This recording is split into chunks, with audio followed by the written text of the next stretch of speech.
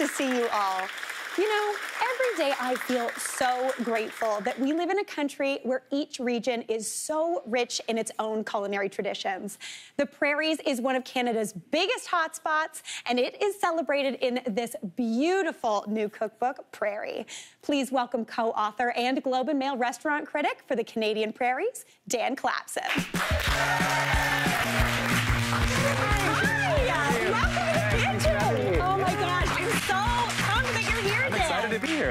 First off, excellent bolo tie. Thank you. I mean, I had to rep the prairies, you, you know? Oh, you have to do it. Yep, absolutely. So you are originally from Saskatoon, mm-hmm. Saskatchewan, and now you live in Calgary, correct? Mm-hmm. So you're spanning the whole prairies. Yeah, you know, I, I, grew up in Saskatchewan. I've lived in Calgary my whole adult life, and I've really fallen in love with the prairies as a whole. So whether it's uh, Winnipeg and Manitoba mm. or all over Alberta, Saskatchewan, there's so many amazing things happening there, and I'm lucky enough to write about all of that. So I channeled that love of the prairies into this book. That's amazing. Yeah. Honestly, it's such a beautiful book. Thank Flipping you. through it, there's so many good recipes. It's seasonal. It represents so much of the delicious flavors and things that are grown there. I am biased, but it is quite a nice book. Yeah.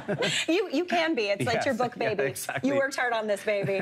we wanted to organize it seasonally though because a lot of people, regardless of where you live in Canada, a lot of these ingredients you can access where you're from. Mm -hmm. So summer is a great time of year. Obviously, you can get everything. Mm -hmm. By fall, there's a little bit less of ingredients, and winter less, and spring hardly any. Mm -hmm. So we wanted to help you get creative regardless of what season of year it was. That's amazing. Mm-hmm. So you're going to cook a couple recipes from this book. What yes. are we doing? What are we starting with? So we're going to start off with meatloaf. So I love meatloaf. It's one of my favorite comfort foods. And when I moved out of my parents' house when I was 19, it was one of the first things I learned to cook properly, aside from, you know, mac and cheese. A, yeah, a box of yeah, mac and cheese. yeah, yeah, yeah.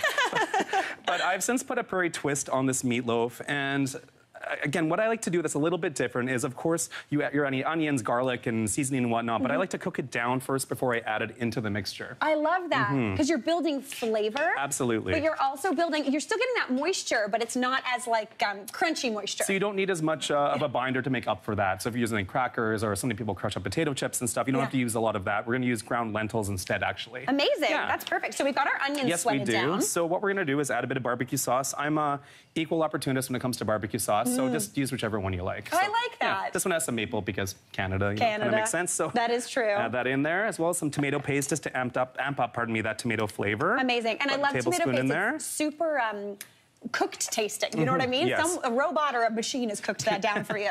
Yeah. we'll never know. Yeah.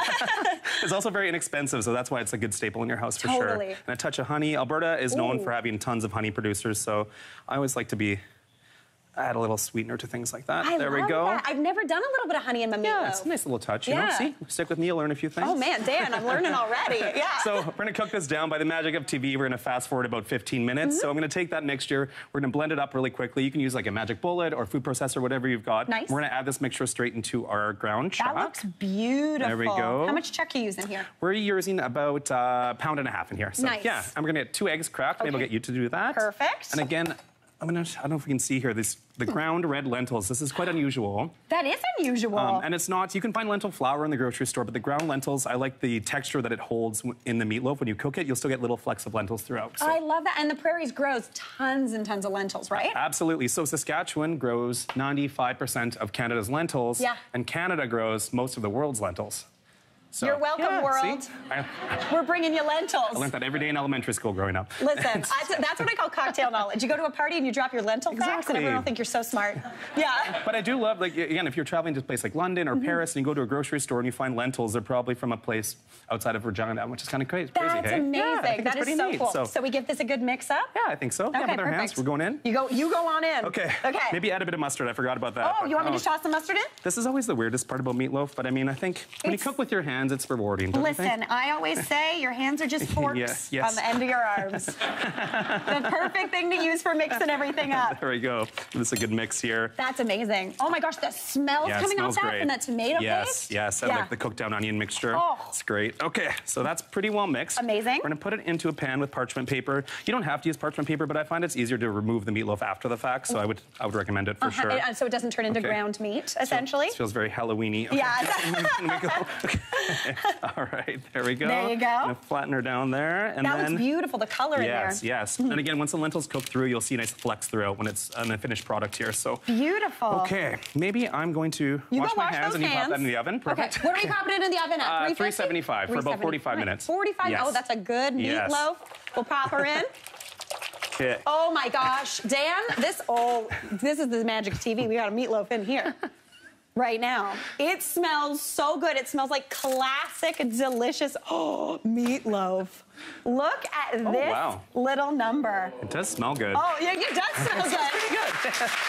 and one thing that I forgot to mention is that we're glazing this meatloaf every 15 minutes in the oven with a mixture of brown sugar, yellow mustard, and a bit of butter. I think yellow mustard is a really underutilized condiment in the kitchen. It's not not just for hot dogs. Not just for earlier. your Yeah. dogs. Mhm. Yeah, it's so For good. too. That looks absolutely Yes. amazing. You gonna slice up a I think piece? so. Let's okay. see. And again, this is why we like parchment because it comes right out. Easy as pie. Make it simple. It's a little hot. Don't do I'll that at home. 'em, there we go. Yeah.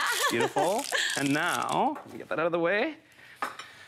This is always the most stressful part. You just don't want it to fall apart. I so let's know. all manifest a solid piece of meatloaf. Oh, okay? good job, everybody. Everyone's Okay. fingers crossed. Oh yeah, you guys did a good job. Thank Yeah. you. Thank you.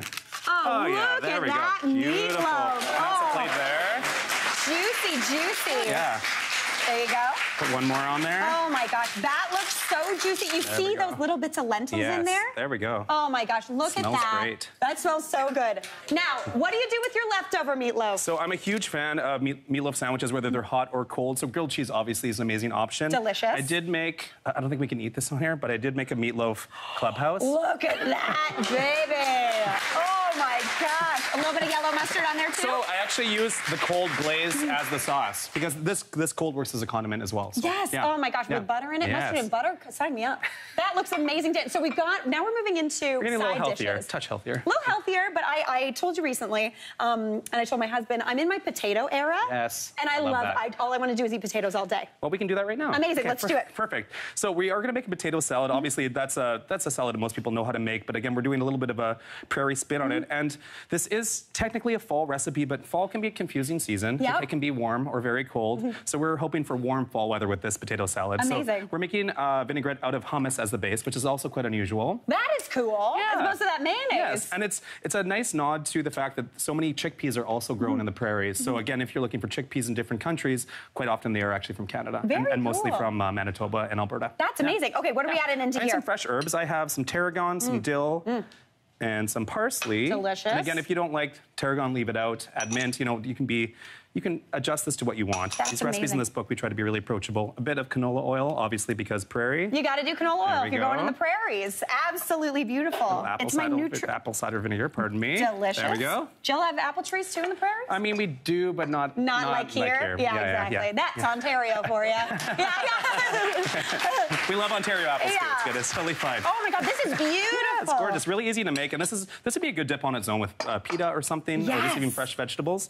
So when I boil the potatoes, Mm-hmm. I actually this is a good uh, good hack. I put onion and garlic in with it as well, and it softens in the process, and it flavors the potatoes, of course. But you can just add them to the salad as well. I like layers of texture, and I think it's a nice element to add. I agree. Okay, pop those into that Okay, bowl. here we go. In we go. And I'm seeing some vegetables in addition. Yes. So I have some baby cucumbers, radishes. Oh, And we're gonna add those in there just for some color and again for texture, the texture, crunch. texture, texture. That's the thing. Yes. It doesn't just have to be a soft boiled potato salad. Oh my gosh, and this dressing smells so good. And it's pretty good for you, you know? Mm-hmm. So again, and this is a good example of how you can make a vegan recipe quite interesting Oh, as well. 'cause you weren't even thinking about it, right? I wasn't. nice. See, there you go. Oh my gosh. And I like my salad pretty saucy, so maybe let's add a touch more. Listen, I also like my salad saucy. The only salad I wouldn't overdress is like tender, tender greens. I even Romaine? overdress yeah, that, okay, Dan. I'm not gonna lie. she I takes, love it takes so no much. prisoners. No, all dressing all the time. That, oh go. my gosh, I gotta grab a fork. 'cause I gotta give this there a taste go. through. Let me see if I can pop this in a bowl for us here. Perfect. Let's- there we go. But yeah, you can just smell the fresh herbs. You can smell the hummus, and then the hummus itself has so much flavor in it when you buy it, right? So it's a nice foundation for That's a the thing. I love. You've got There a you couple go. of store-bought hacks in there. Oh my There gosh, go. Dan, I love my potatoes. This is absolutely amazing, and this book is so beautiful. Thank you so much. And thanks to Dan, you're all going home with a Yes. coffee. Thank you so much, Dan. going in with Cheers to you and potatoes. Cheers. Cheers. Hey, Mary here. What did you think? Drop your comments below and don't forget to like and subscribe for more of the good stuff.